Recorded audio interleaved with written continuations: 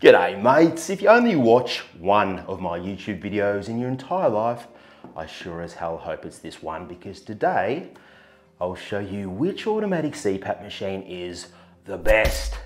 And by best, I mean which provides the most efficient automatic pressure delivery for optimal treatment. And no, it's not ResMed. Hmm, now just a heads up, she's quite a lengthy video, so perhaps give your thumb a little bit of a rest from scrolling through the half-naked girls on TikTok. Sit back, get comfy, strap yourselves in, and enjoy the ride. All right, let's do this.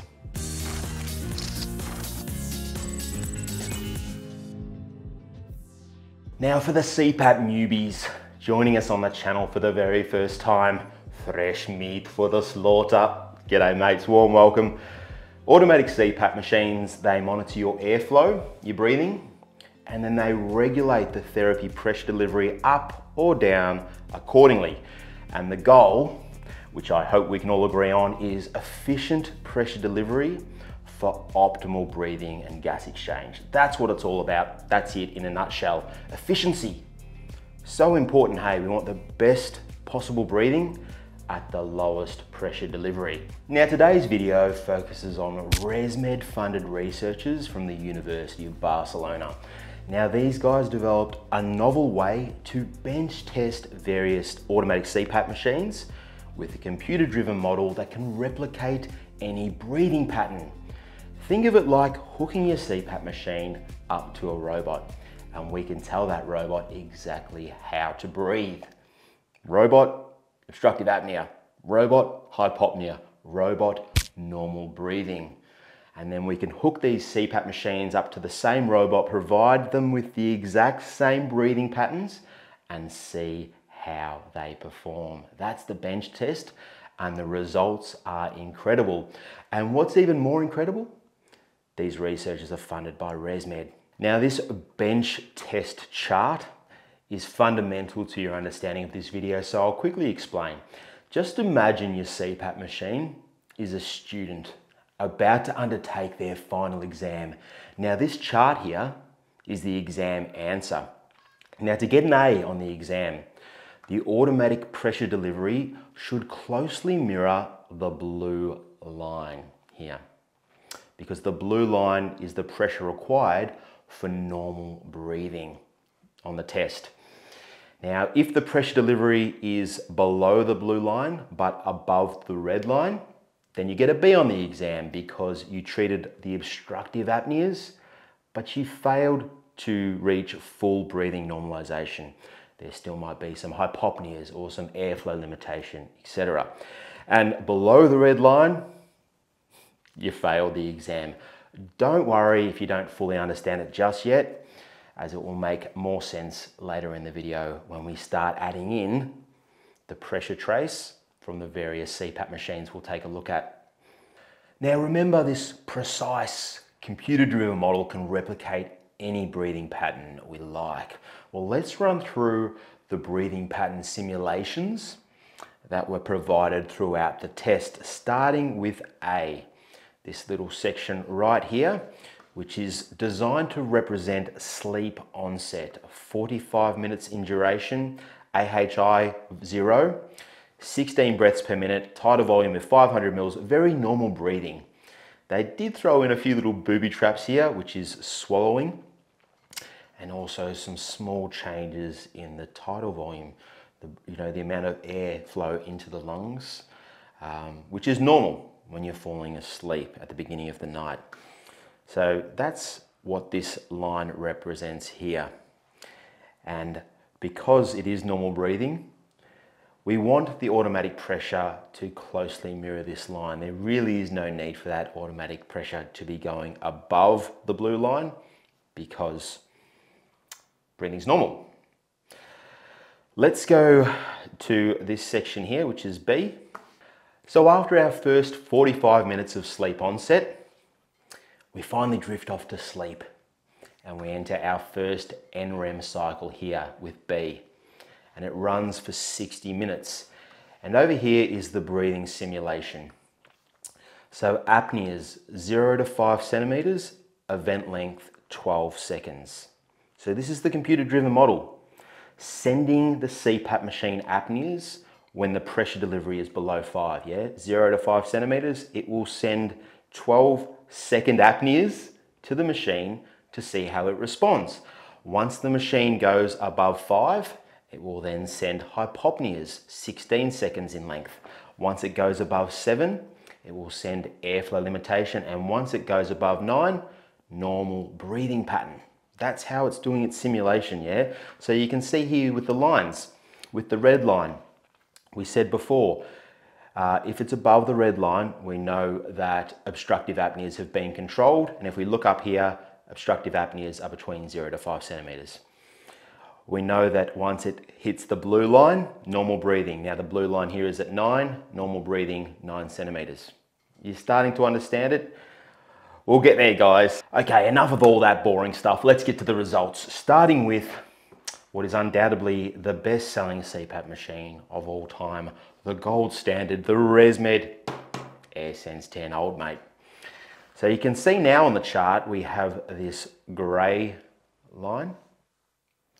And this gray line is the pressure delivery over time from the AirSense 10 machine. This is the pressure trace. This is what the machine was delivering in response to the breathing simulation we just talked about a minute ago. Now remember, the first 45 minutes here is wake. We're not asleep yet. It's just regular normal breathing. A couple of little booby traps in there, you know, the swallowing, subtle changes in tidal volume. But ideally, the CPAP pressure trace should closely mirror this blue line here at four centimeters because we're not even asleep yet. But if you look at the ResMed trace here, you can see it's bumping up, bumping up, bumping up. It goes up to around, I don't know, six and a half, seven centimeters here, which in my opinion is still a pass. Okay, that's not too bad. But it's once the simulation hits sleep where things go really pear-shaped. Now remember, to ace the exam, the pressure trace, this gray line, should closely mirror the blue line as much as possible because the blue line is where we have normal breathing. That's when breathing becomes normal. We don't need anything above that mark. But look at the ResMed pressure delivery. It's miles above what is required for normal breathing. Yeah? So the computer driven model is showing the ResMed machine regular breathing. But the ResMed machine is still going up, up, up, up, up, up, up. And then it goes too high, it realizes it's gone too high, and then it starts to come down again. It looks like the Himalayas here. Now, remember what I said earlier. Yeah, it's it's about efficient pressure delivery, the best breathing at the lowest pressure delivery. ResMed machine's not even close. Yes, you're going to get an excellent AHI on paper, and you can see that here. Residual AHI only 0.7. Brilliant. Right, and that's what all the doctors focus on. That's what all the clinicians focus on. They don't focus on comfort. Great results. Look at your apnea hypopnea index, and it shows it there. But at what cost, guys? What cost? If apnea was a walnut, the ResMed here is a sledgehammer. sure, you broke the shell, but you smashed the nut in the process, okay? And by smashing the nut, I mean you're causing non-compliance. Um, so if Uncle Nico is grading this exam, I'm sorry, but that's a fail for me. The number one reason why 50% of people fail or give up on CPAP therapy is too much pressure, especially for beginners when they're just starting out. They're not used to it, guys. And you just blast them, blast them right in the face with the Himalayas, with the sledgehammer. And if there's any clinicians watching, sleep techs, CPAP consultants, whoever you are, doctors, doctors, specialists, Sending your patients home with a ResMed Auto Set 4 to 20 is the worst thing you can do for your patient compliance. It is criminal and you all do it. You get them in, you send them off 4 to 20, you get the good AHI and you give it a tick.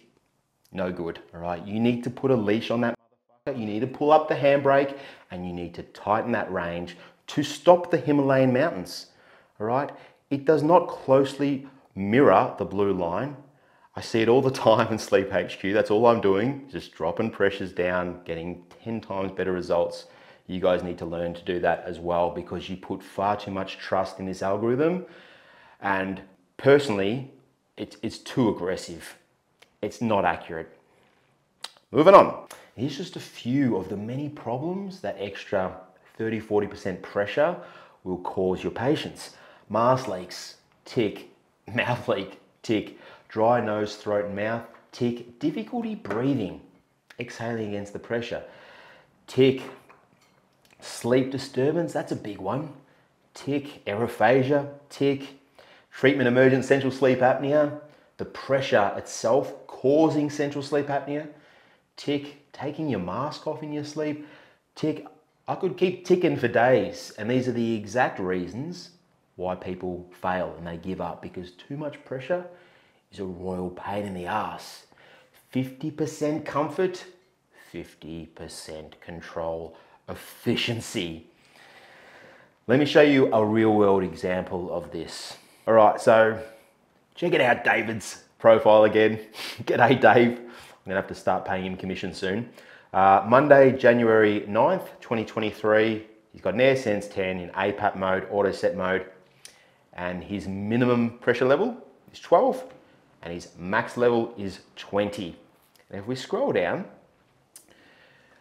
here's the pressure trace. This is the automatic algorithm changing the pressure over time. We've got time along the x-axis here and the pressure up the y-axis.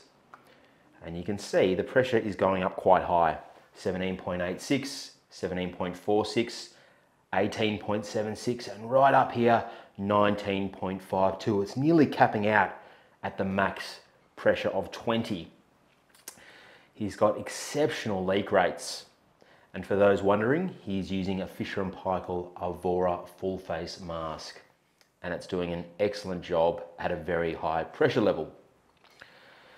So on this particular night, his median pressure delivery was 14.34. 95% of the night it was 18.16 and below, and his apnea hypopnea index 5.09.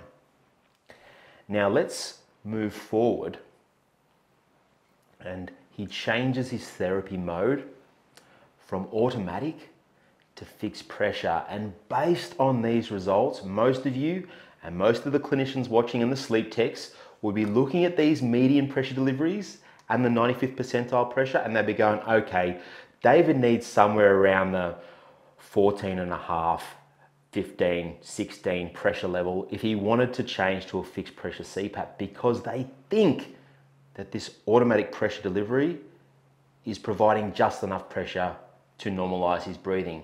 But check this out. Boom. Oh, wrong one.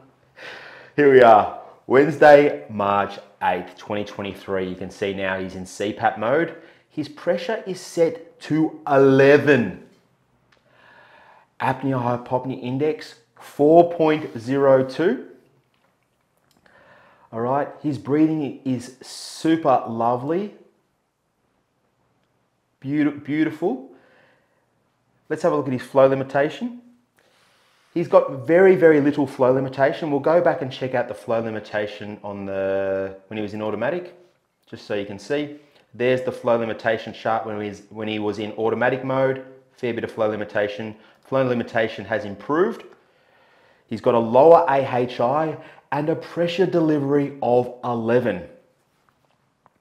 That's a long way from 19.5. You can just imagine how many people, like David, have been set up on 4 to 20, sent away, the machine's pumping them full of 19 centimeters, and they go, no, too hard. It's not worth it. I can't deal with this therapy. It's a pain in my ass. When they could be getting better treatment. These results are better. Had a pressure of 11, nearly half. Just insane. All right, mates, moving on to the second bench test CPAP machine, and it's another AirSense 10, but this time the for her version, the lady version, with the lavender screen and the pretty leaves.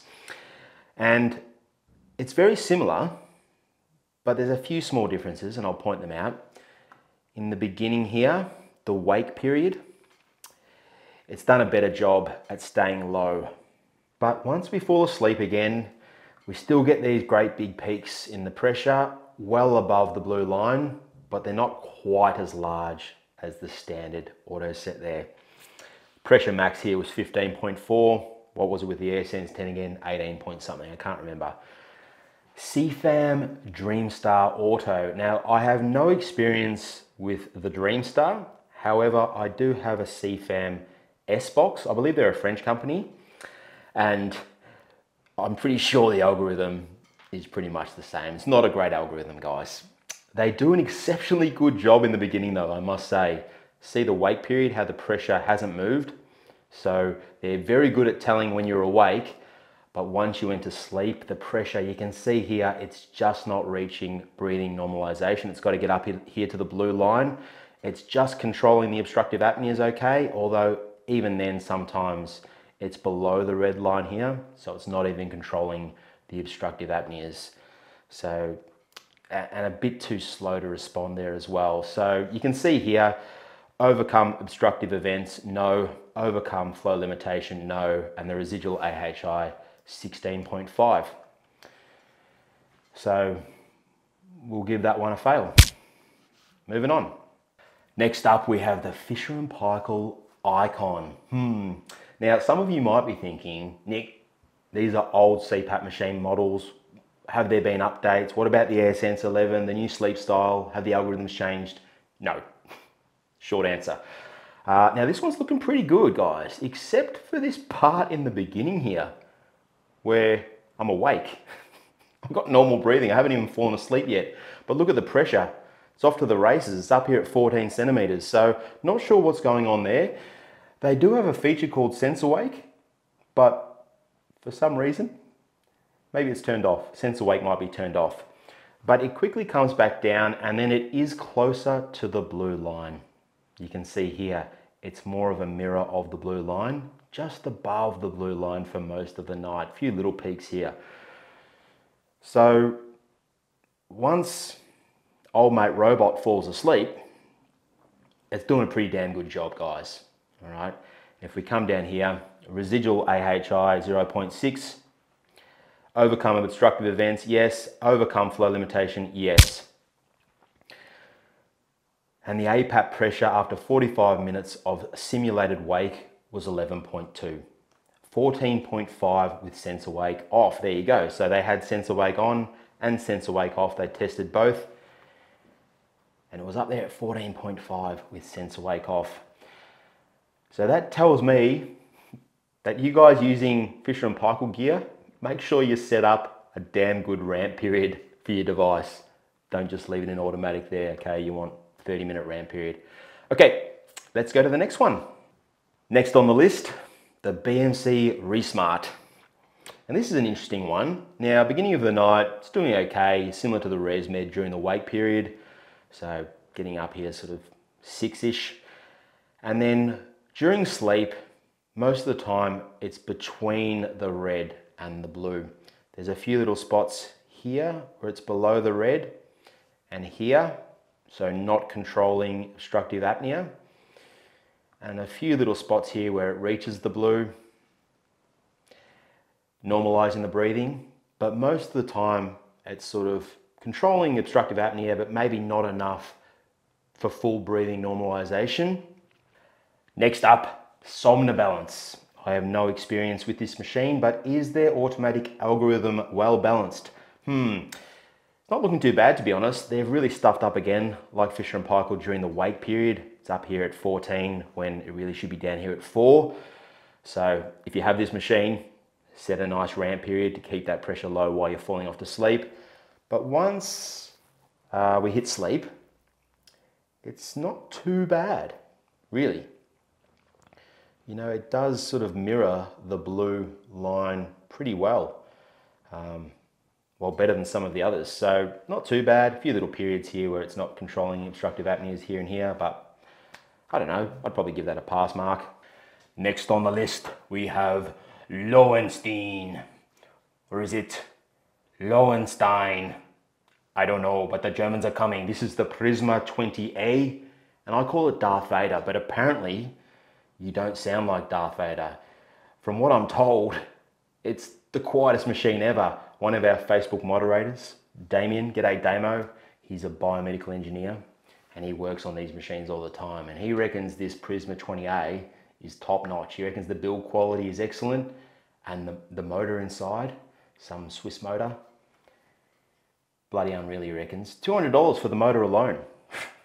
Get that from this Swiss company. This whole machine here costs about 200 bucks. This machine's got a motor in it. The motor itself is 200 bucks. So I'll have to get one, play around with it, um, and see how it goes. Now the automatic algorithm surprised me a lot here as well. Stuffed up in the beginning during the wake period, like a few others, up here at sort of 14 during wake. But once sleep arrives, check it out, because this is the best so far. Hey, can you see it here? Very closely mirroring the blue line, normal breathing. A few little periods here where it's below the blue line, always above the red, so always controlling those obstructive apneas, which is fantastic. Pressure max was only 12. The ResMed was 18. Residual AHI 1.6, super low AHI. I mean, that's, if it wasn't for this little part in the beginning, which you can fix with a ramp, you know, that's, that's an A+. plus. Really nice, good, stable algorithm. And Damien does say it's got a ridiculously good algorithm. So yeah, there you go, guys. That was a big surprise. The Lowenstein. Uh-oh. Here we go. Philips Respironics System 1. And if this doesn't make you change from your Philips machine, after everything you've been through over the last two years, nothing will. I've said it before, I'll say it again. Their automatic algorithm is shit. You need to change your machine to fixed pressure mode because this is not fit for purpose. Let's have a look at it. Okay, so during the awake period, it shoots up, not too bad, similar to ResMed, whatever, but look at this here. So remember, you need to be above the red line to control your obstructive apneas, and it's not. It's well, well below the red line here, below the red line here. It's well below the red line here, and rarely does it reach breathing stability. Okay, a couple of tiny little spots. Residual AHI 10, overcome obstructive events, no. Overcome flow limitation, no. Fail. Big fail. Next up, Apex ICH Auto. And this sort of looks a little bit similar to the BMC algorithm. Jumps up a bit in the beginning and it's sort of hovering between the red and the blue dipping below the red here and here, um, up near the blue on a few occasions. Not great, not terrible, somewhere in between. All right, everybody, pens down. That is the end of the final year exam. And the two standout students who aced their exam were Fisher & Paykel Icon and the Lowenstein Prisma 20A. But there can only be one winner, one best automatic. Hmm. Deary me. The Fisher and Paykel provides a little bit better control. It's a little bit of a closer mirror to the blue line. However, it does reach a maximum pressure of 15.3 versus the Lowenstein of 12.1. That's a big difference. So the comfort is going to be better. Oh man, decisions, decisions, decisions. You know what? I'm to go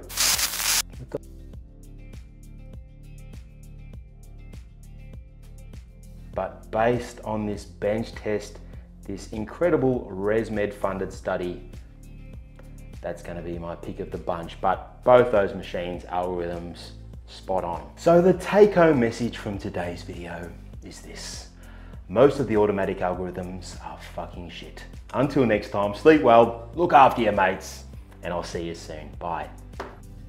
G'day mates, this video is sponsored by Sleep HQ. Upload, review and share your detailed CPAP reports with anyone from anywhere. Visit sleephq.com and join our free community today.